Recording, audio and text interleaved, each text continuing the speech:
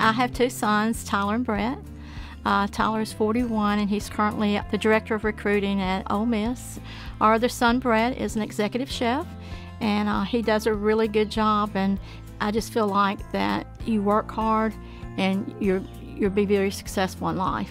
And uh, I've taught them that from day one is to how important that is, is to treat people with respect and um, to have integrity and, and just to be honest.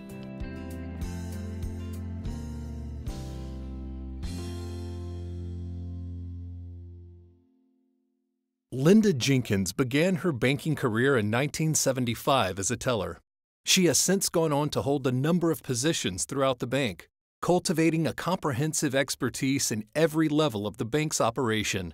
I started as a teller, but about 2 o'clock in the afternoon, they asked you to go upstairs and actually check signatures on the checks and file the checks and make statements.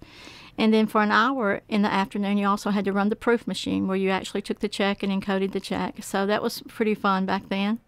So banking changed and it kept changing every single year. And so I became a branch manager and, and really had, um, it was probably one of my favorite jobs because I was able to coach and develop the associates and, and see them grow in their career.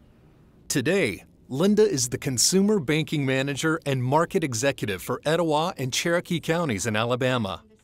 Her market executive role also extends to neighboring Calhoun, Talladega, and St. Clair counties. I was very fortunate that I had great mentors in the past.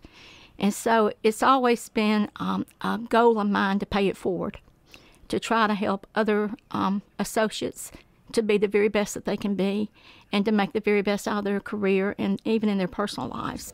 I think the thing with Linda is it's the entire team. And it doesn't matter if it's someone that's directly reporting to her or it could be someone that she's on their team. I think she mentors all of us. It's never about her. And um, the times, I mean, just the constant times that she spends with us, teaching us, you can truly see that her intent is about us, about this company, and about the customer, and has zero intentions about her. And Linda strives to be such an exemplary role model because she knows firsthand the crucial role they play, having lost the two most important role models in her own life at an early age. My father died a month before I was born, and so my mother died when I was seven. I have three older brothers and sisters, and um, it was just my younger brother and I that uh, was left, you know, that was not married. And so um, I came to Alabama to live with a sister that was 25 years older than me that I'd never seen before so throughout my childhood, I had a lot of people that was interested in me and, and probably felt sorry for me to be, to, to be honest about it. And so they were constantly always giving me opportunities and helping and encouraging me, you know, as I as I grew. And uh, so as I look back over that, it, it's been always been very important to me to try to help other people as other people had helped me. Helping other people, a mission Linda lives every day not just as a mentor to her associates, but in representing Regions as a market executive in the community at large. The market executive clearly has to be the face of Regions, and Linda does a wonderful job in that.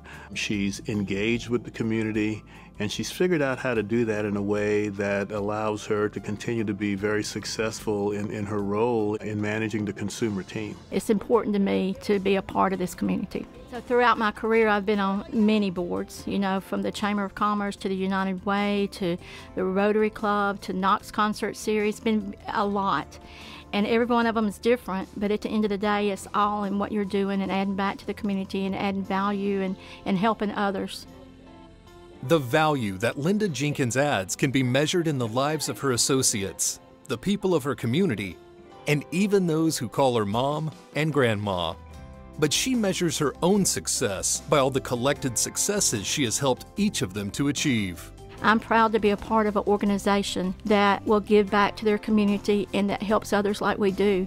And uh, I feel like that we make a difference, that we do make life better for our customers and for other people.